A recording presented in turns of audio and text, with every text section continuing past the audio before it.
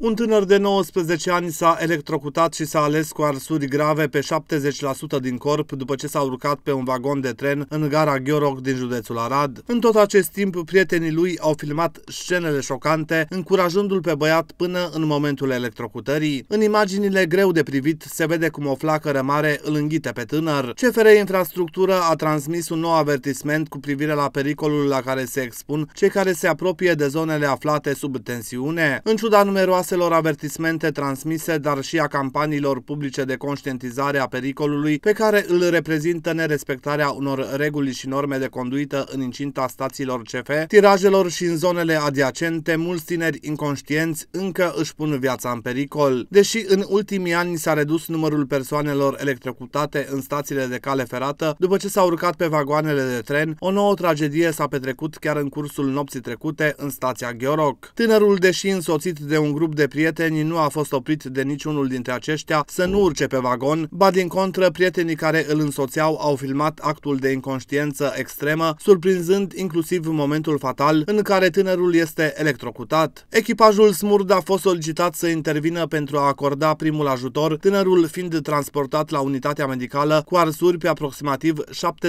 70% din corp. Cablul sub tensiune creează un câmp electric care este periculos la distanțe mici. Un om care se apropie de cablu cablu urcându-se pe vagon sau pe locomotivă devine un fel de paratrăsnet, fiind neutru din punct de vedere electric, are loc o străpungere a aerului și o descărcare electrică, formându-se astfel un arc electric la o distanță mai mică de 1,5 metri de linia de contact, au transmis reprezentanții CFR Infrastructură.